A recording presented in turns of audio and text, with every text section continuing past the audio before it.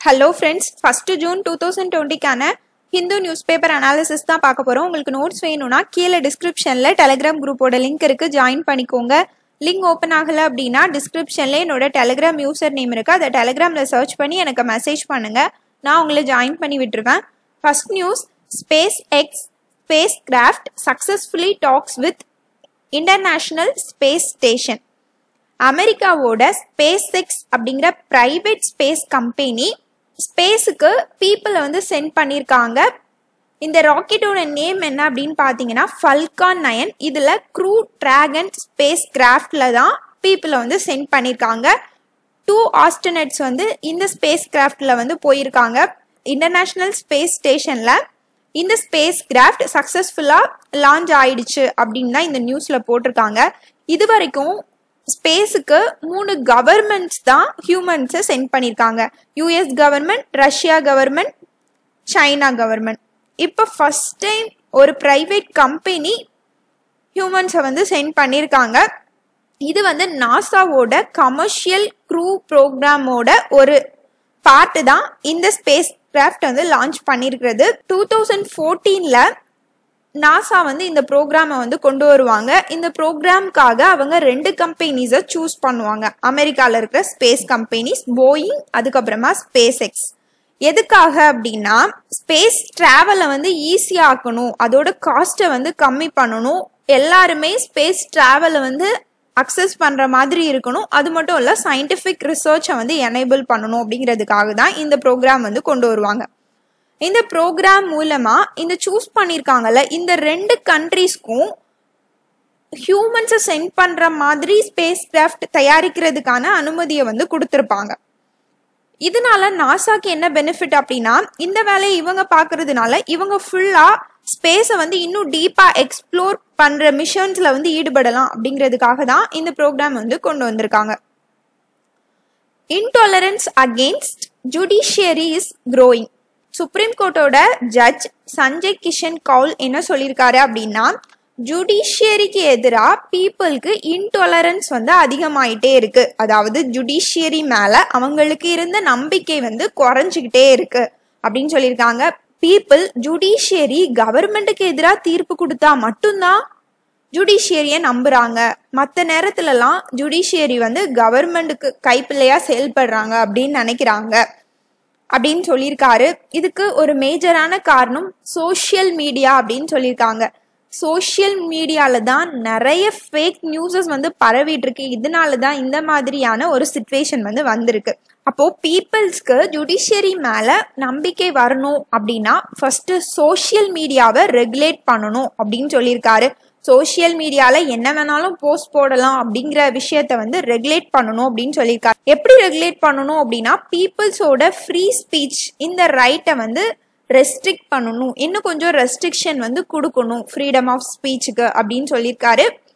Freedom of speech and expression நம்மளோட கான்ஸ்டியூஷன்ல எந்த ஆர்டிக்கல்ல மென்ஷன் பண்ணியிருக்காங்க அப்படின்னு கீழே கமெண்ட்ல மென்ஷன் பண்ணுங்க.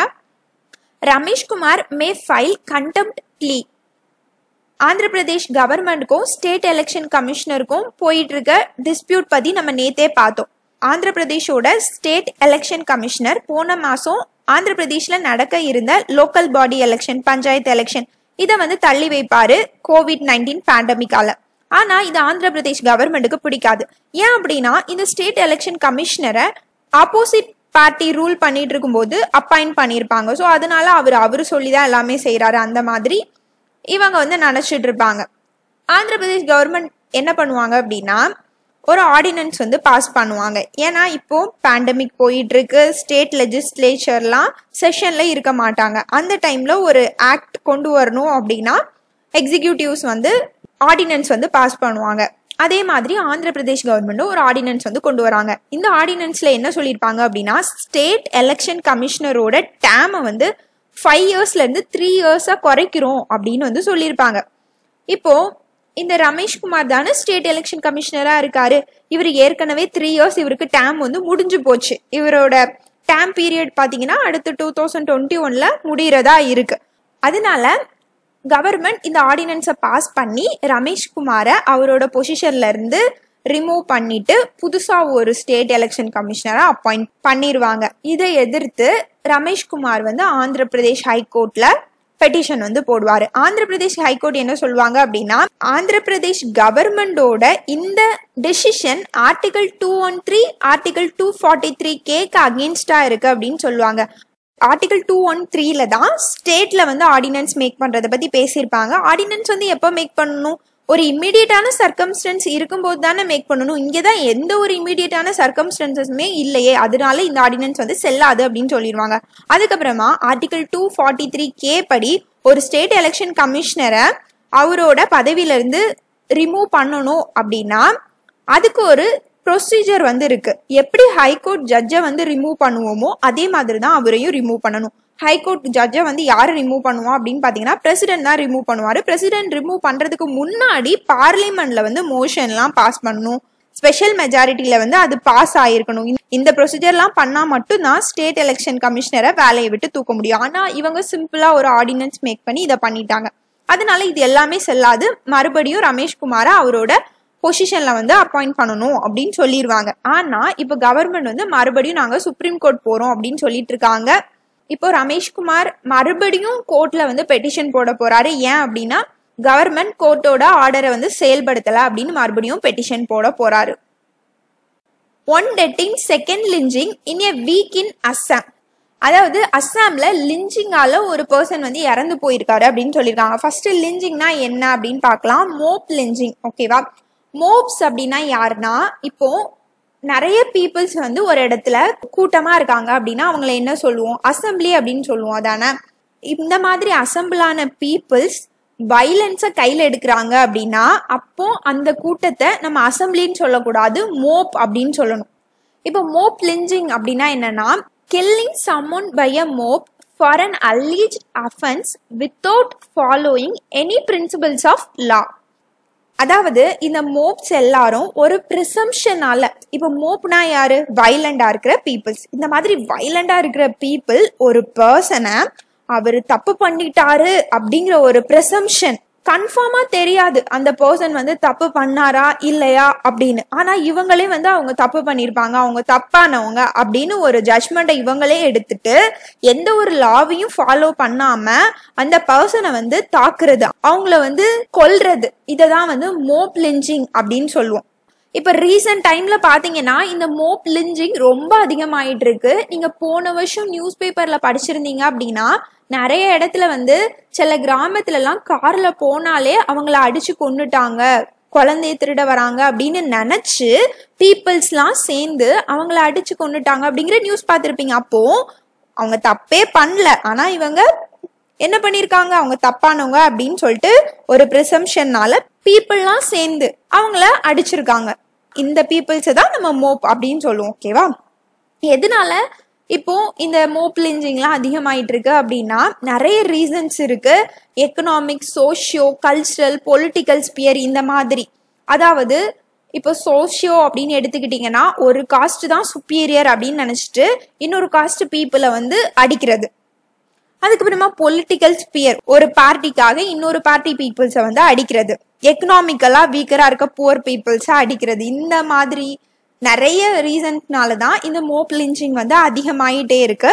அது மட்டும் இல்லை இந்த மோப் லிஞ்சிங் அதிகமாகிறதுக்கு இன்னொரு பெரிய ரீசன் வந்து இந்த சோஷியல் மீடியா இந்த சோஷியல் மீடியால நிறைய ஃபேக் ஃபேக் நியூஸஸ்லாம் பரவிட்டு இருக்குல்ல. இப்போ போன வருஷம் இந்த குழந்தைய கடத்த வராங்க அப்படின்னு நிறைய மோப்லிஞ்சிங்ஸ்லாம் நடந்துட்டு இருந்துச்சு. இதுக்கு மேஜரான காரணமே இந்த சோஷியல் மீடியா சோஷியல் மீடியாவில் சும்மா ஒரு போஸ்ட்டை வந்து பார்க்கறது இந்த மாதிரி காரில் வந்து வருவாங்க. இத்தனை பேர் வருவாங்க. இப்படி இருப்பாங்க அப்படின்னு பார்த்தோம்னா அதே மாதிரி ஒருத்தங்களை பார்த்த உடனே இந்த பீப்புள்ஸ்லாம் வைலண்டாக மாறிடுறாங்க. மோப்பாக மாறிடுறாங்க. சோஷியல் மீடியாவில் நிறைய ஃபேக் நியூஸ் நிறைய ஹேட் நியூஸ்லாம் பரவிட்டு இருக்கு. ஒரு ரிலீஜியனுக்கு எதிராக ஃபேக்கான நியூஸ் இப்போ பார்த்தீங்கன்னா இந்த கோவிட் நைன்டீன் பீரியடில் முஸ்லீம் பீப்புள்ஸ்க்கு எதிராக நிறைய ஃபேக் நியூஸஸ்லாம் பரவிட்டு இருந்துச்சு. கோவிட் நைன்டீனையே முஸ்லீம் பீப்புள்ஸ் தான் இந்த தப்லிகி ஜமாத் ஈவென்ட் மூலமாக பெட்டியிலேருந்து திறந்து விட்டுட்டாங்க. இந்த மாதிரி நிறைய நியூஸஸ் வந்து பரவிட்டு இருந்துச்சு. இதனால சோஷியல் மீடியா இந்த மோப்லிஞ்சிங்க்கு ஒரு பெரிய ரீசனாக இருக்குது இந்தியா ஸ்பெண்ட் அப்படிங்கிற ஒரு ரிப்போர்ட்ல என்ன சொல்லியிருக்காங்க அப்படின்னா லாஸ்ட் எயிட் இயர்ஸ்ல இந்த மாதிரி சோஷியல் மீடியால பரவிட்டு இருக்க fake newses fifty two percentage increase ஆயிருக்கு அப்படின்னு சொல்லியிருக்காங்க. இந்த மோப் லிஞ்சிங்காக நம்ம கண்ட்ரில ஸ்பெசிஃபிக்கா எந்த ஒரு சென்ட்ரல் லாவும் இல்லை. நிறைய லாஸ் வந்து நம்ம கண்ட்ரில இருக்கு. இப்போ ஒரு பர்சனை வந்து கொண்டுட்டாங்க அப்படின்னா அதுக்கு மர்டர் கேஸ் இந்த மாதிரி ஐபிசியில் நிறைய செக்ஷன் இருக்கு. அவங்கள அடிச்சாங்க அப்படின்னா அதுக்கும் நிறைய செக்ஷன் இருக்கு. ஆனா மோப்லிஞ்சிங் அப்படின்னு தனியா எந்த ஒரு லாவுமே இல்லை. டூ தௌசண்ட் எயிட்டீன்ல சுப்ரீம் கோர்ட் வந்து இந்த மோப்லிஞ்சிங்கை பத்தி ஒரு ஜட்மெண்ட்ல வந்து சொல்லியிருப்பாங்க. சென்ட்ரல் அண்ட் ஸ்டேட் கவர்மெண்ட்க்கு கைட்லைன்ஸ் வந்து கொடுத்துருப்பாங்க. என்ன சொல்லியிருப்பாங்க அப்படின்னா central and state government mob லிஞ்சிங்கை deal பண்ணுறதுக்காக லாஸ் வந்து மேக் பண்ணணும். அதுக்கப்புறமா ஃபாஸ்ட் ட்ராக் ட்ரையல்ஸ் பண்ணுறதுக்காக ட்ரைபுனல்ஸ் இந்த மாதிரி கூட மேக் பண்ணலாம். இந்த மோப் லிஞ்சிங்கை டீல் பண்ணுறதுக்காக இந்த மோப் லிஞ்சிங்கால பாதிக்கப்பட்ட பீப்புள்ஸ்க்கு கம்பன்சேஷன் வந்து கொடுக்கணும். இந்த மோப் லிஞ்சிங்கை ஒழுங்காக விசாரிக்காத லா என்ஃபோர்சர்ஸ்க்கு எதிராக டிசிப்ளினரி ஆக்ஷன் வந்து எடுக்கணும் அப்படின்னு சொல்லியிருப்பாங்க. லா என்ஃபோர்சர்ஸ்னா யாரு? போலீஸ் ஆஃபீஸர்ஸ் இவங்கெல்லாம். ஏன்னா நிறைய இடத்துல பாத்தீங்கன்னா இந்த போலீஸ் ஆஃபீஸர்ஸ்லாம் என்ன பண்றாங்கன்னா மோப்லிஞ்சிங்கால ஒருத்தங்க இறந்து போயிட்டாங்க அப்படின்னா அவங்க வந்து மோப்லிஞ்சிங்கால இறக்கல. அதுக்கப்புறமா அவங்களுக்கு ஹார்ட் அட்டாக் ஏற்பட்டு இறந்துட்டாங்க. அந்த மாதிரி எழுதி கேஸையே முடிச்சிடுறாங்க. டக்குன்னு முடிஞ்சிரும்ல. அந்த மாதிரி முடிச்சிருக்காங்க. இந்த மாதிரி இன்சிடென்ட்ஸ்லாம் போன இயர் வந்து நியூஸ்ல நிறைய வந்திருந்துச்சு. இதை வந்து சுப்ரீம் கோர்ட் வந்து டூ தௌசண்ட் எயிட்டீன்ல சொல்லியிருக்காங்க. சுப்ரீம் கோர்ட் சொன்ன உடனே Manipur government first first mob லிஞ்சிங்காக தனியா வந்து ஒரு லா வந்து எனக்ட் பண்ணியிருக்காங்க. இதுல வந்து அவங்க சுப்ரீம் கோர்ட் சொன்ன எல்லா ப்ரொவிஷன்ஸையுமே ஆட் பண்ணியிருக்காங்க. மணிப்பூரில் இருக்கிற எல்லா டிஸ்ட்ரிக்ட்லேயும் ஒவ்வொரு நோடல் ஆஃபீஸர்ஸ் வந்து அப்பாயிண்ட் பண்ணணும் அப்படின்னு இந்த ஆக்டில் வந்து மென்ஷன் பண்ணியிருக்காங்க. மோப் கண்ட்ரோல் பண்ணுறதுக்காக அதுக்கப்புறமா போலீஸ் ஆஃபீஸர்ஸ் இந்த கேஸை ஒழுங்காக விசாரிக்காம போயிட்டாங்க அப்படின்னா அவங்களுக்கு வந்து ஃபைன்ஸ் வந்து இருக்குது அதுக்கப்புறமா ஜெயில் டேமும் இருக்குது அவங்களுக்கு. இந்த மோப்லிஞ்சிங்கால பாதிக்கப்பட்ட கம்யூனிட்டிக்கு ரீஹாபிலிட்டேஷன் வந்து கொடுக்குறாங்க. ரிலீஃப் கேம்ப்ஸ் வந்து அவங்களுக்கு கொடுக்குறாங்க. மானிட்டரி கம்பன்சேஷன் வந்து கொடுக்குறாங்க. இந்த ப்ரொவிஷன்ஸ் எல்லாமே அந்த ஆக்டில் வந்து அவங்க ஆட் பண்ணியிருப்பாங்க அப்போ மோப்லிஞ்சிங்காக ஃபஸ்ட்டு ஸ்பெசிஃபிக் லா எனாக்ட் பண்ண ஸ்டேட் மணிப்பூர். மணிப்பூரை தொடர்ந்து டூ தௌசண்ட் நைன்டீன்ல ராஜஸ்தானும் இதே மாதிரி ஒரு ஆக்டை வந்து கொண்டு வருவாங்க. அதுக்கப்புறமா வெஸ்ட் பெங்காலும் கொண்டு வருவாங்க. இப்போ சென்ட்ரல்லாம் வந்து எதுக்கு நம்மளோட கவர்மெண்ட் வந்து கொண்டு வர மாட்டேங்காங்க அப்படின்னா கவர்மெண்ட் அஃபிஷியல்ஸ்லாம் என்ன சொல்றாங்கன்னா நம்மளோட கண்ட்ரியில் நிறைய லாஸ் வந்து இருக்கு. இந்த மோப்ளிஞ்சிங் இந்த லைன்லே நிறைய லாஸ் வந்து சிம்லராக இருக்கு. ஆனா இந்த லாஸ் எல்லாம் என்ஃபோர்ஸ் பண்ணாம இருக்கிறது தான் ப்ராப்ளமா இருக்கு. என்ஃபோர்ஸ்மெண்ட் தான் இங்க பிரச்சனையா இருக்கு. ஒழுங்கா வந்து நடவடிக்கை எடுக்காம இருக்காங்க. அட்மினிஸ்ட்ரேட்டிவ் சைட்ல ஒழுங்கா நடவடிக்கைகள் வந்து எடுக்காம இருக்காங்க. போலீஸ் ஆஃபீஸர்ஸ் வந்து கேர்லெஸ்ஸாக இருக்காங்க. இதெல்லாம் நம்ம பார்த்தாலே போதும். இந்த மோப்ளிஞ்சிங்கை வந்து தடுத்துடலாம் அப்படின்னு நிறைய அஃபிஷியல்ஸ் வந்து சொல்கிறாங்க too many aspirants for MG NREGA scheme jobs MG NREGA scheme வந்து டூ தௌசண்ட் ஃபைவ்ல Mahatma Gandhi national rural employment guarantee act மூலமா கொண்டு வந்தாங்க. இது மூலமா ரூரல் ஹவுஸ் ஹோல்ட்ஸ்க்கு ஹண்ட்ரட் டேஸ் எம்ப்ளாய்மெண்ட் கொடுக்குறாங்க ஒரு ஃபினான்ஷியல் இயர்ல ஒரு ஃபினான்ஷியல் இயர் அப்படின்னா April one two thousand டுவெண்ட்டிலேருந்து March thirty one two thousand twenty one வரைக்கும் ஒரு ஃபினான்ஷியல் இயர் இந்த இயர்ல பெரு ஹவுஸ் ஹோல்ட் தான் ஹண்ட்ரட் டேஸ் வந்து வேலை கொடுக்குறாங்க. ஒரு ஆளுக்கு கிடையாது. எப்படின்னா இப்போ இப்போ எங்க வீட்டில் நானும் எங்க அம்மாவும் இருக்கோம் அப்படின்னா எங்க அம்மா வந்து எழுபது நாள் வேலை பார்த்துட்டாங்க அப்படின்னா எனக்கு முப்பது நாள் தான் வேலை கிடைக்கும். அந்த ஃபினான்ஷியல் இயர்ல உங்களுக்கு புரிஞ்சிருக்கும் அப்படின்னு நினைக்கிறேன். அடல்ட் மெம்பர்ஸ்க்கு வேலை கொடுக்குறாங்க. இந்த வேலை பார்த்தீங்கன்னா அந்த வில்லேஜ்ல இருந்து வித்தின் ஃபைவ் கிலோமீட்டருக்கு தான் வேலை கொடுப்பாங்க. ஒருவேளை ஃபைவ் கிலோமீட்டர் தாண்டி அவங்க டிராவல் பண்ற மாதிரி இருந்துச்சு அப்படின்னா எக்ஸ்ட்ரா வேஜஸ் வந்து கொடுப்பாங்க. என்ன மாதிரி ஒர்க் கொடுப்பாங்க அப்படின்னா அன்ஸ்கில்டு மேனுவல் ஒர்க்ஸ் தான் கொடுப்பாங்க.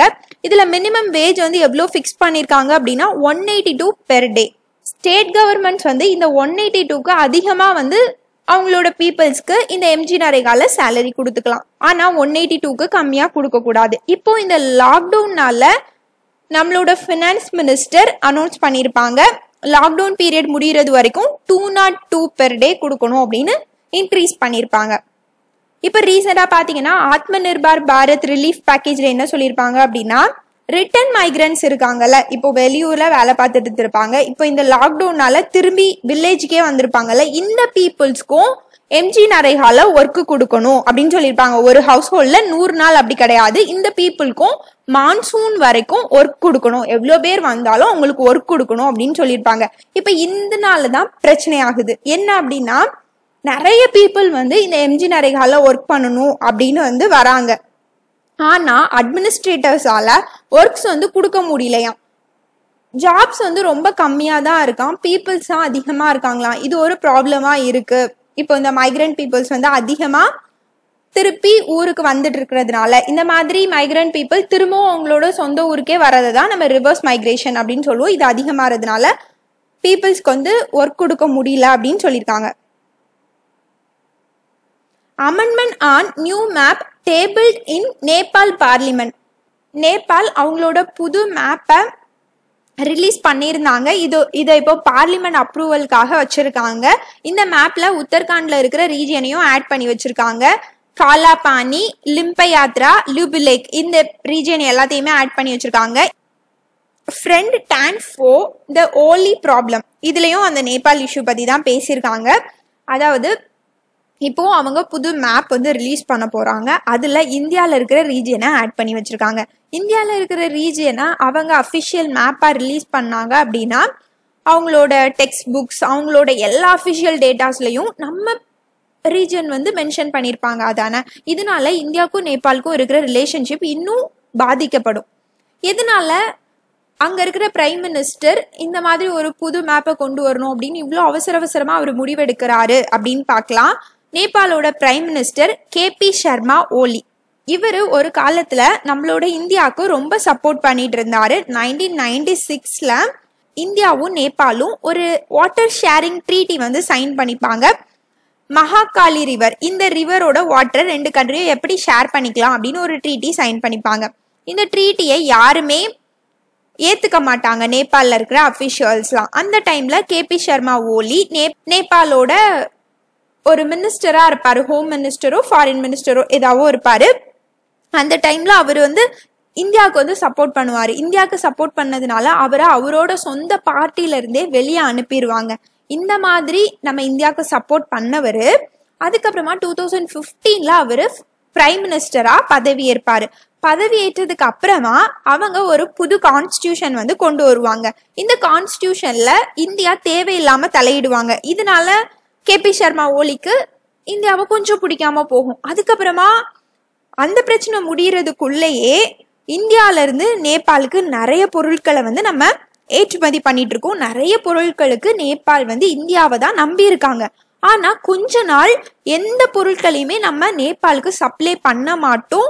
சம் இன்டர்னல் இஷ்யூவால இதை வந்து நம்ம பண்ணல அப்படின்னு சொல்லிட்டு கவர்மெண்ட் அனௌன்ஸ் பண்ணுவாங்க. இதனாலையும் கேபி சர்மா ஓலிக்கு இந்தியாவை பிடிக்காம போயிடும் இந்த டைம்ல தான் சைனா வந்து என்டர் ஆவாங்க. சைனா வந்து இந்த டைமை யூஸ் பண்ணி கேபி சர்மா ஓலி கூட transit and transport facilitation agreement அப்படின்னு ஒன்று சைன் பண்ணிப்பாங்க. அதுக்கப்புறமா சைனாவும் அங்கே நிறைய இன்வெஸ்ட் பண்ண ஆரம்பிச்சிட்டாங்க.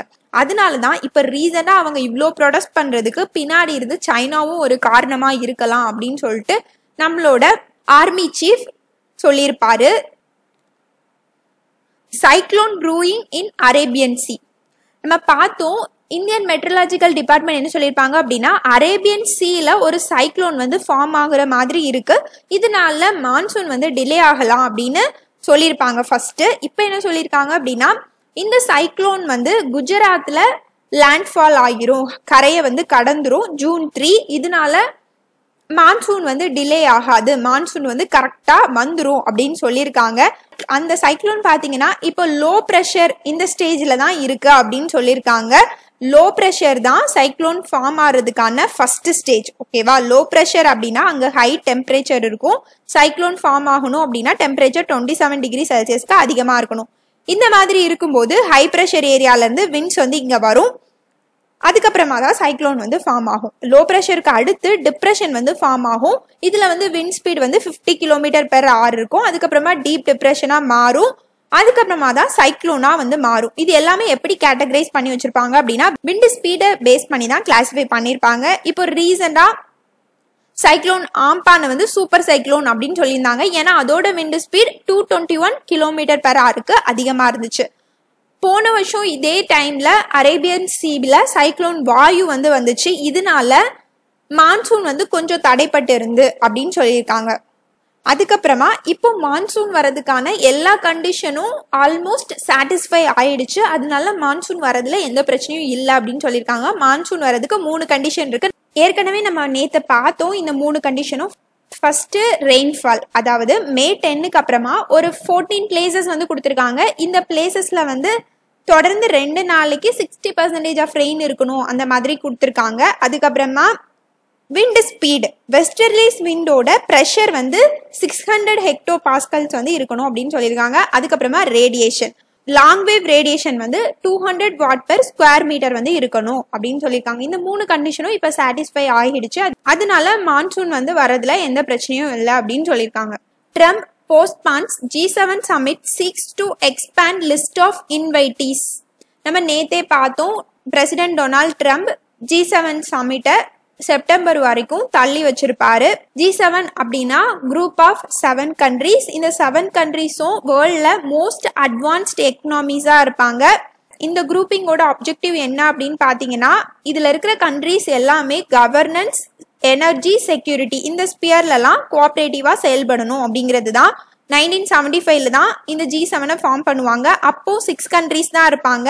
USA UK France Germany Japan Italy nineteen seventy சிக்ஸில் தான் கனடா ஜாயின் பண்ணுவாங்க. அப்போ ஜி செவனாக மாறும். நைன்டீன் நைன்டி செவனில் ரஷ்யா ஜாயின் பண்ணுவாங்க. அப்போ ஜி எயிட் கண்ட்ரிஸாக மாறும். டூ தௌசண்ட் ஃபோர்டீனில் ரஷ்யாவை வெளியே துரத்தி விட்டுருவாங்க.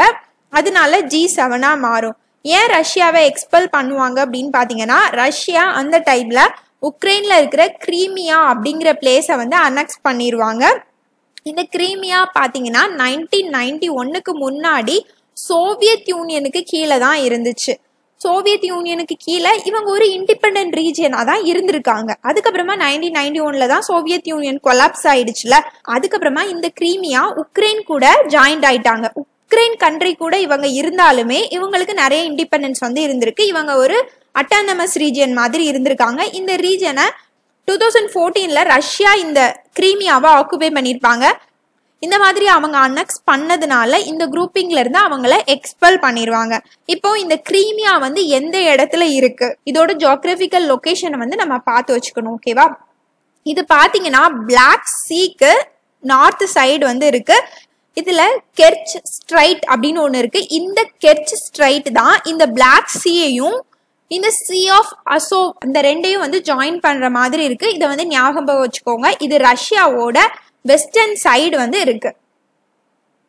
Rare scorpion fish found in gulf of Mannar gulf of Mannar இந்த ரீஜியன்ல ஒரு ஸ்கார்பியன் ஃபிஷ் வந்து கண்டுபிடிச்சிருக்காங்களாம். இதோட யூனிக்கான ஃபீச்சர் என்ன அப்படின்னு பாத்தீங்கன்னா இது பச்சோந்தி மாதிரி அதோட நிறத்தை மாத்திக்கிட்டே இருக்குமா? அது எந்த இடத்துல இருக்கோ அந்த இடத்துக்கு ஏத்த மாதிரி நிறத்தை மாத்திக்கிட்டே இருக்குமா? எதுக்காக அப்படின்னா அதோட பிரிடேட்டர்ஸ் கிட்ட இருந்து தப்பிச்சுக்கிறதுக்காக. அது மட்டும் இல்ல இதோட ஸ்பைன்ல இருந்து வீணோமும் வருதான். அதாவது விஷம் தன்மை வந்து இந்த மீனுக்கு வந்து இருக்கும். அதனாலே இதை எந்த பெரிய மீனுமே சாப்பிட்டாதான் இதுக்கு ஸ்கார்பியன் ஃபிஷ் அப்படின்னு ஏன் நேம் வச்சிருக்காங்க அப்படின்னா இதுதான் விஷத்தன்மை வாய்ந்ததுல. ஸ்கார்பியன் எப்படி இருக்கும்? தேல். விஷத்தன்மை வாய்ந்தது தானே அதனால தான் அதுக்கு இந்த நேமை வச்சிருக்காங்க. இதோட சயின்டிஃபிக் நேம் பார்த்தீங்கன்னா ஸ்கார்பியனோ ஸ்பெசிஸ் நெக்லெக்டா அப்படின்னு கொடுத்துருக்காங்க.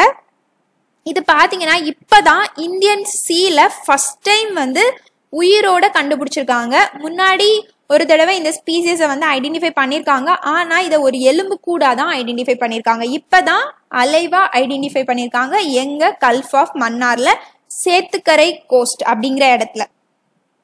Bengal's grand old buildings bear the brunt of Amphan Amphan புயலால பெங்கால்ல இருக்க ஹிஸ்டாரிக்கலான பில்டிங்ஸ்லாம் சேதம் அடைஞ்சிருக்கு அப்படின்னு சொல்லியிருக்காங்க. ஒரு மூணு பில்டிங்கை பத்தி கொடுத்துருக்காங்க.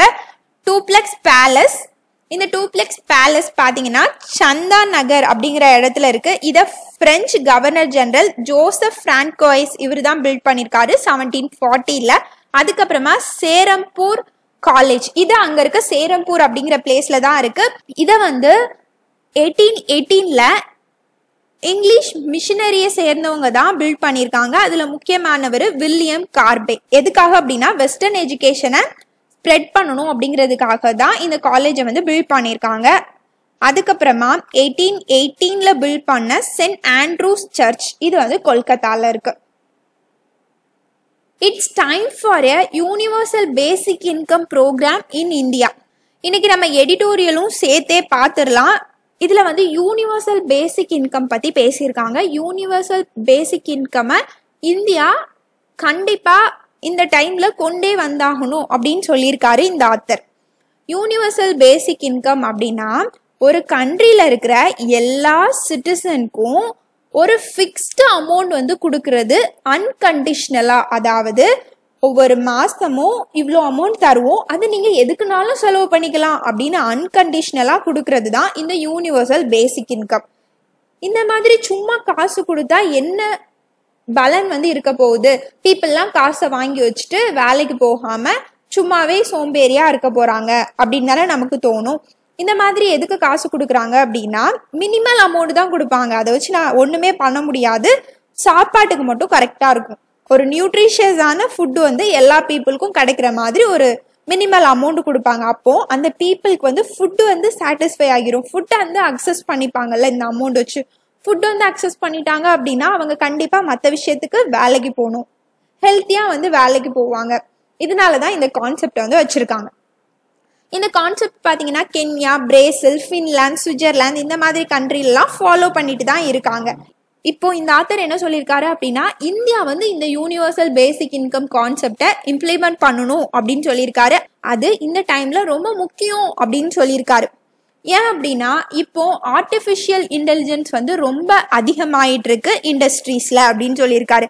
ஆர்டிஃபிஷியல் இன்டெலிஜென்ஸ் அப்படின்னா ரோபோட்ஸ் இந்த மாதிரி மிஷின்ஸே எல்லாமே பண்ணிட்டு இருக்கு எல்லா இண்டஸ்ட்ரீஸ்லயும் இந்த மாதிரி அட்வான்ஸ்டு மிஷின்ஸ் வந்து இருக்கிறதுனால ப்ரொடக்டிவிட்டி வந்து ரொம்ப இன்க்ரீஸ் ஆகிட்டு இருக்கு ப்ரொடக்ஷன் வந்து ரொம்ப இன்க்ரீஸ் ஆகிட்டு இருக்கு ஆனால் ஹியூமன் கேபிட்டல் ரிக்யர்மெண்ட் வந்து கம்மி ஆகிட்டு இருக்கு இண்டஸ்ட்ரீஸ்ல வந்து முன்னாடி நூறு பேர் வந்து வேலைக்கு வேணும் அப்படின்னா இப்பதான் பாதி பேர் வேலையை இந்த மிஷின்ஸே பார்த்துருதே. அப்புறம் எதுக்கு பீப்புள்ஸ் வந்து வேணும்? அதனால வேலைக்கு ஆள் எடுக்கிறது இல்லை ஜாப் ஆப்பர்ச்சுனிட்டிஸ் வந்து ரொம்ப கம்மியாயிட்டு இருக்கு இது வேர்ல்டு வைடா இருக்கிற ஒரு சினாரியோ இதுக்கு எக்ஸாம்பிளா அமெரிக்கால இருக்கிற சிலிக்கான் வாலே அப்படிங்கிற ஒரு இண்டஸ்ட்ரியல் ரீஜியனை எடுத்திருக்காங்க. இந்த ரீஜியன்ல தான் வேர்ல்ட்ல இருக்கிற பெரிய பெரிய டெக்னாலஜி கம்பெனிஸ்லாம் இருக்கான் இந்த ரீஜியனோட மார்க்கெட் வேல்யூ பார்த்தீங்கன்னா ஃபோர் ட்ரில்லியன் அளவுக்கு இங்கே ப்ரொடக்ஷன் வந்து நடக்குது. இப்போ நம்ம எக்கனாமியோட வேல்யூ பார்த்தீங்கன்னா த்ரீ ட்ரில்லியன் தான். நம்ம இப்போ ஃபைவ் ட்ரில்லியன் அச்சீவ் பண்ணணும் அப்படின்னு எய்ம் வச்சுருக்கோம். ஆனால் இந்த ஒரு ரீஜியனில் மட்டுமே ஃபோர் ட்ரில்லியன் வேல்யூக்கு ப்ரொடக்ஷன் நடந்துட்டு இருக்கு. ஆனால் இவங்க ஒன் பாயிண்ட் டூ மில்லியன் பீப்புளுக்கு தான் ஒர்க்கே கொடுக்குறாங்களாம். அப்போ வேற எல்லா வேலையும் யார் பார்க்குறா அப்படின்னா இந்த ஆர்டிஃபிஷியல் இன்டெலிஜென்ஸ் தான் பார்க்குறாங்க ஸோ நிறைய பீப்புள்ஸ்க்கு வந்து ஜாப் ஆப்பர்ச்சுனிட்டிஸ் வந்து கம்மியாயிட்டே இருக்கிறதுனால அவங்களுக்கு ஃபுட் செக்யூரிட்டி வந்து கொடுக்கறதுக்காகவாது இந்த யூனிவர்சல் பேசிக் இன்கம் கான்செப்டை இந்தியா இப்போ கொண்டு வரணும் அப்படின்னு சொல்லியிருக்காரு. அதுக்கப்புறமா இப்போ இந்த பேண்டமிக் பீரியட்ல நிறைய பேருக்கு வேலை போயிடுச்சு நமக்கு தெரியும். ஆனா இந்த பேண்டமிக் வரதுக்கு முன்னாடியே நம்ம கண்ட்ரில ஜாப் ஆப்பர்ச்சுனிட்டிஸ் வந்து கம்மியா தான் இருக்கான் ஒவ்வொரு வருஷமும் பார்த்தீங்கன்னா மோர் தென் எ மில்லியன் ஆஸ்பரன்ஸ் வந்து படிச்சுட்டு வெளியே வராங்க ஜாப் மார்க்கெட்குள்ள ஆனால் அவங்களுக்கு வேலை கிடைக்கிறதுல இதுவும் ஒரு ரீசனாக வந்து சொல்லியிருக்காரு. அதுக்கப்புறமா two thousand sixteen seventeen economic சர்வேல quasi basic income scheme அப்படின்னு ஒன்று ப்ரொப்போஸ் பண்ணியிருப்பாங்க. அதே மாதிரி இன்டர்நேஷ்னல் மானிட்டரி ஃபண்டும் இந்த ஐடியாவை வந்து ப்ரொப்போஸ் பண்ணியிருக்காங்க. குவாசி பேசிக் இன்கம் ஸ்கீம் அப்படின்னா என்னன்னா யூனிவர்சல் பேசிக் இன்கம் அப்படின்னா ஒரு கண்ட்ரியில் இருக்கிற எல்லா பீப்புளுக்கும் செர்டைன் அமௌண்ட் வந்து கவர்மெண்ட் வந்து கண்டிப்பாக கொடுக்கணும். யூனிவர்சல் அப்படின்னா எல்லாருக்கும். இதே குவாசி அப்படின்னா பாதி அப்படின்னு அர்த்தம். அப்போ பாதி பேருக்கு மந்த்லி மந்த்லி கொஞ்சம் அமௌண்ட் கொடுக்கணும். யார் அந்த பாதி பேர் அப்படின்னு கேட்டிங்கன்னா ரிச் பீப்புளெலாம் விட்டுறணும். புவராக இருப்பாங்கல்ல அந்த பீப்புளுக்கு மட்டுமாவது கொடுக்கணும். ஏன்னா இந்த அமௌண்ட் வந்து அவங்களோட பாவர்ட்டிலேருந்து அவங்க வெளியே வர்றதுக்கும் அவங்களோட பசிலேருந்து அவங்க வெளியே வர்றதுக்குமாவது ஹெல்ப்பாக இருக்கும். அதனால இந்த குவாசி பேசிக் இன்கம்மையாவது கொண்டு வரலாம் அப்படின்னு எக்கனாமிக் சர்வேல ப்ரொப்போஸ் பண்ணியிருப்பாங்க ஆனால் நம்ம கவர்மெண்ட் வந்து கொண்டு வர மாட்டாங்க. இப்போ இந்த மாதிரி நம்ம போர் பீப்புளுக்கு காசு கொடுத்தோம் அப்படின்னா எவ்வளோ நம்மளோட ஜிடிபியில் செலவாகும் அப்படின்னா ஃபோர் பாயிண்ட் நைன் பர்சன்டேஜ் மட்டும்தான் செலவாகுமா? இப்போ ரீசெண்டாக பார்த்தீங்கன்னா நம்மளோட பிரைம் மினிஸ்டர் மோடி ஆத்ம நிர்பர் பாரத் அப்படின்னு சொல்லிட்டு ஒரு ரிலீஃப் பேக்கேஜ் சொல்லியிருப்பாரு. அதில் என்ன சொல்லியிருப்பாருன்னா ஜிடிபியில் டென் பர்சன்டேஜ் வந்து கொடுக்க போகிறோம் அப்படின்னு சொல்லியிருப்பாரு. அதுக்கு இது எவ்வளோ பரவாயில்ல தானே? ஃபோர் பாயிண்ட் நைன் பர்சன்டேஜ் தானே ஆகுது. அதனால இம்ப்ளிமெண்ட் பண்ணலாம் அப்படின்னு சொல்லியிருக்காங்க. இந்த டைம்ல இம்ப்ளிமெண்ட் பண்றது ரொம்ப முக்கியம் அப்படின்னு சொல்லியிருக்காரு. ஏன் அப்படின்னா ஐஎம்எஃப் என்ன சொல்லியிருக்காங்க டூ தௌசண்ட் டுவெண்ட்டியில் வேர்ல்ட் ஃபுல்லாக க்ரோத் வந்து மைனஸ் த்ரீ பர்சன்டேஜ் தான் இருக்கும். இந்தியாவோட growth one point nine percentage தான் இருக்கும் அப்படின்னு சொல்லியிருக்காங்க யூஎஸில் பார்த்தீங்கன்னா நிறைய ஜாப் லாசஸ் வந்து ஏற்பட்டிருக்கு. அவங்க ஓப்பனாகவே அனௌன்ஸ் பண்ணிட்டாங்க. செவன்டீன் மில்லியன் இந்த மாதிரி யூஎஸில் வந்து ஜாப் லாசஸ் வந்து ஏற்பட்டிருக்கு அப்படின்னு சொல்லிட்டாங்க. ஆனால் இந்தியாவில் வந்து எவ்வளோ ஜாப் லாசஸ் வந்து ஏற்படும் அப்படின்னு இன்னுமே சொல்லவே இல்லை.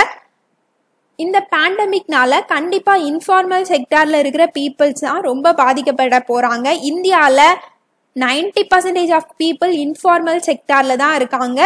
அதாவது நம்ம ஒர்க் பண்றத பாத்தீங்கன்னா formal sector informal sector employment அப்படின்னு ரெண்டா பிரிக்கலாம். இப்போ உங்களோட கம்பெனி கவர்மெண்ட்ல ரெஜிஸ்டர் பண்ணி கவர்மெண்டோட லா எல்லாமே ஃபாலோ பண்ணி செயல்பட்டு இருக்காங்க அப்படின்னா அவங்க வந்து ஃபார்மல் செக்டார்ல இருக்காங்க அப்படின்னு அர்த்தம். இதே வந்து அந்த கம்பெனி கவர்மெண்ட் கிட்ட ரெஜிஸ்டர் பண்ணாம செயல்படுறாங்க அப்படின்னா அவங்க வந்து இன்ஃபார்மல் அப்போ நம்ம கண்ட்ரில நிறைய பேர் வந்து இன்ஃபார்மல் ஒர்க்கா தான் இருக்காங்களாம். கொஞ்சம் பர்சன்டேஜ் பீப்புள் தான் ஃபார்மலா இருக்காங்களாம். ஃபார்மல்ல இருக்கிறதுலயும் நிறைய பேர் வந்து கவர்மெண்ட் எம்ப்ளாயீஸ் தான் இருக்காங்களாம். அது தவிர கொஞ்சம் கம்பெனிஸ் தான் கவர்மெண்ட் கிட்ட ரெஜிஸ்டர் பண்ணி செயல்பட்டு இருக்காங்க. அப்போ இந்த பீப்புள்லாம் இந்த டைம்ல ரொம்ப பாதிக்கப்படுவாங்கல்ல. அப்போ அவங்க வந்து பாவர்ட்டி அண்ட் ஹங்கர்ல இருந்து வெளியே வரணும் அப்படின்னா யூனிவர்சல் பேசிக் இன்கம் கான்செப்டை இப்ப கொண்டு வரணும் அப்படின்னு சொல்லியிருக்காரு. A phantom call the line of actual control சைனாக்கும் Indian ட்ரூப்ஸ்க்கும் ஃபேஸ் ஆஃப்ஸ் வந்து போயிட்டு இருக்கு இந்த மாதிரி பார்டர் ஃபேஸ் ஆஃப்ஸ் வந்து நடக்கும்போது அதை டீல் பண்ணுறதுக்காக நம்ம ஏற்கனவே பார்த்தோம் நைன்டீன் நைன்டி த்ரீலேருந்து ஃபைவ் அக்ரிமெண்ட்ஸ் வந்து சைன் பண்ணியிருக்கோம்.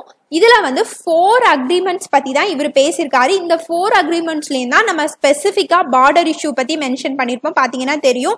நைன்டீன் நைன்டி த்ரீ அக்ரிமெண்ட்டில் லைன் ஆஃப் ஆக்சுவல் கண்ட்ரோல் பற்றி பேசியிருக்காங்க. அதே மாதிரி நைன்டீன் நைன்டி சிக்ஸ் அக்ரிமெண்ட்லேயும் லைன் ஆஃப் ஆக்சுவல் கண்ட்ரோல் தான். டூ தௌசண்ட் ஃபைவ்ல பார்த்தீங்கன்னா பார்டர் இஷ்யூ பற்றி தான் பேசியிருப்போம். டூ தௌசண்ட் தேர்ட்டீன்லையும் நம்ம லைன் ஆஃப் ஆக்சுவல் கண்ட்ரோல் பற்றி தான் சைன் பண்ணியிருப்போம். அதனால இந்த நாலு அக்ரிமெண்ட்ஸையும் எடுத்து இவர் பேசியிருக்காரு. இப்போ பாத்தீங்கன்னா இந்தியாவும் சைனாவும் என்ன சொல்லிட்டு இருக்காங்க இந்தியாவுக்கும் சைனாக்கும் இருக்க பார்டர் பிரச்சனையை நாங்க எங்களோட அக்ரிமெண்ட்ஸ் மூலமா சரி பண்ணிப்போம் அப்படின்னு சொல்லிட்டு இருக்காங்க ஆனா ஒண்ணுமே சரியான மாதிரி தெரியல. ஏன்னா இந்த அக்ரிமெண்ட் எல்லாமே ஸ்ட்ராங்காவே இல்லை அப்படின்னு சொல்லியிருக்காங்க. இப்போ நைன்டீன் நைன்டி த்ரீ அக்ரிமெண்ட்ல என்ன சொல்லியிருக்காங்க அப்படின்னா ரெண்டு சைட்ஸும் ஒரு அல்டிமேட் சொல்யூஷன் வர்றது வரைக்கும் ரெஸ்பெக்டா நடந்துக்கணும். அடுத்தவங்களோட ஆக்டிவிட்டீஸ்ல தலையிடக்கூடாது அப்படின்னு சொல்லியிருக்காங்க. ஆனா இப்போ என்ன நடந்துட்டு இருக்கு ஃபேஸ் ஆஃப்ஸ் வந்து நடந்துட்டு இருக்கு அதான? சைனீஸ் ட்ரூப்ஸ் வந்து எல்ஐசியை நோக்கி வந்து வந்துட்டு இருக்காங்க அப்போ நம்மளோட ஆக்டிவிட்டீஸை அவங்க டிஸ்டர்ப் பண்ணிட்டு இருக்காங்க அப்போ நைன்டீன் நைன்டி த்ரீ அக்ரிமெண்ட்க்கு அகேன்ஸ்டா தான் எல்லாமே நடந்துட்டு இருக்கு அப்படின்னு சொல்லியிருக்காரு. அதுக்கப்புறமா நைன்டீன் நைன்டி த்ரீலையும் நைன்டீன் நைன்டி சிக்ஸ்ல சைன் பண்ண அக்ரிமெண்ட்லயும் என்ன சொல்லியிருக்காங்க அப்படின்னா ரெண்டு சைடும் லிமிட்டெட் நம்பர் ஆஃப் ஃபோர்ஸஸை தான் எல்ஐசி பக்கத்துல நிறுத்தி வைக்கணும் அப்படின்னு சொல்லியிருக்காங்க. ஆனா இப்போ நிறைய ஃபோர்ஸஸ் வந்து சைனா வந்து நிறுத்தி வைக்க ஆரம்பிச்சிட்டாங்க. அதனால இந்தியாவும் இப்போ நிறைய ஃபோர்ஸஸ் வந்து இங்க நிறுத்தி வச்சிருக்காங்க. நிறைய இந்தியன் சோல்ஜர்ஸ்க்கு வந்து இன்சூர் ஆயிருக்கு. செவன்டி இந்தியன் சோல்ஜர்ஸ் கிட்ட இதனால இன்சூர் ஆயிருக்காங்க இந்த ஃபேஸ் ஆஃப்ஸ்னால அப்போ இந்த அக்ரிமெண்டையும் அவங்க ஃபாலோ பண்ணல. அதே சமயத்தில் இந்த நைன்டீன் நைன்டி சிக்ஸ் அக்ரிமெண்ட்ல என்ன சொல்லுவாங்க அப்படின்னா ரெண்டு கண்ட்ரியும் இந்த அக்ரிமெண்ட்டை ரேட்டிஃபை பண்ணணும் அப்படின்னு சொல்லிப்பாங்க. அதாவது அவங்கவுங்களோட பார்லிமெண்ட்ல இந்த அக்ரிமெண்ட்டை நாங்கள் கடைபிடிப்போம் அப்படின்னு ஒரு ரெசல்யூஷன் வந்து கொண்டு வரணும் அப்படின்னு சொல்லியிருப்பாங்க. அதெல்லாம் அவங்க கொண்டே வரல. அடுத்து டூ தௌசண்ட் தேர்ட்டீன்ல ஒரு அக்ரிமெண்ட் வந்து சைன் பண்ணுவாங்க. மன்மோகன் சிங் வந்து பிரைம் மினிஸ்டரா இருக்கும்போது அவர் சைனாக்கு போவாரு. அப்பதான் இந்த அக்ரிமெண்ட் வந்து சைன் பண்ணுவாங்க. ஏன்னா டூ தௌசண்ட் தேர்ட்டீன்ல இந்த மாதிரி எல்ஐசியில் வந்து ஃபேஸ் ஆஃப்ஸ் வந்து நடக்கும். இந்த அக்ரிமெண்ட்ல என்ன சொல்லியிருப்பாங்க அப்படின்னா ரெண்டு சைடில் இருக்கிற ட்ரூப்ஸும் ஏதாவது ஒரு இன்ஃபெக்ஷியஸ் டிசீசஸ் வரும்போதோ கோஆப்ரேட்டிவாக செயல்படணும். அதர் சைடை வந்து பாதிக்கிற மாதிரி நடந்துக்க கூடாது அப்படின்னு சொல்லியிருக்காங்க. ஆனால் இப்போ இன்ஃபெக்ஷியஸ் டிசீஸ் தான் போயிட்டு இருக்கு இந்த டைம்லயும் அவங்க என்ன பண்ணிட்டு இருக்காங்க பிரச்சனை பண்ணிட்டு தான் இருக்காங்க. இதுக்கு மேஜரான காரணம் என்ன அப்படின்னா பெர்செப்ஷன் ஆன் எல்ஐசி வந்து ரெண்டு கண்ட்ரிக்கும் டிஃபரா இருக்கு. அதாவது எல்ஐசியை வந்து அவங்க ஒழுங்கா வரையறுக்கல ஒழுங்கா டிமார்க்கேட் பண்ணல. இந்தியா வந்து இந்த லைனை எல்ஐசின்னு நினச்சிட்டு இருக்காங்க. ஆனால் சைனா அவங்க இஷ்டத்துக்கு மாற்றிக்கிட்டே இருக்காங்க. மாற்றி மாற்றி போட்டுட்டு இது வரைக்கும் எங்களுக்கு வேணும் அப்படின்னு சொல்லிட்டு கிளைம் பண்ணிக்கிட்டே இருக்காங்க. இதனால தான் ரெண்டு கண்ட்ரிஸும் மேப்பை சேஞ்ச் பண்ணி பார்க்கலாம். நீங்கள் எந்த சைடு மார்க் பண்ணியிருக்கீங்க நாங்கள் எந்த சைடு மார்க் பண்ணியிருக்கோம் அப்படின்னு பார்க்கலான்னு சொல்லிட்டு ஒரு ஐடியா வந்து கொண்டு வருவாங்க. டூ தௌசண்ட் டூவில் இந்த மாதிரி மாற்றிப்பாங்க மாற்றி பார்க்கும்போது என்ன தெரியும் அப்படின்னா மற்ற ரீஜன்லலாம் கரெக்டாக தான் இருக்கும். எல்ஐசிலையும் மோஸ்ட்லி வந்து கரெக்டாக தான் இருந்துச்சாம். ஆனால் டூ தௌசண்ட் த்ரீல பார்க்கும்போது என்னாச்சு அப்படின்னா சைனா வந்து கொஞ்சம் இங்கே தள்ளி போட்டுட்டாங்களா? இந்த மாதிரி ப்ராப்ளம்ஸ்லாம் போயிட்டு இருக்கு இந்த பிரச்சனையை இப்போ உடனடியாக முடிவுக்கு கொண்டு வந்துட்டு அடுத்து அவங்க பண்ண வேண்டிய வேலை என்ன அப்படின்னா எல்ஐசியை வந்து ரெண்டு பேரும் ஒழுங்காக டிமார்க்கெட் பண்ணணும். அப்போ தான் இந்த மாதிரி ப்ராப்ளம்ஸ் வந்து ஃப்யூச்சரில் வராமல் இருக்கும். இன்னைக்கு நியூஸ் அவ்வளோதான் தேங்க்யூ ஸோ மச்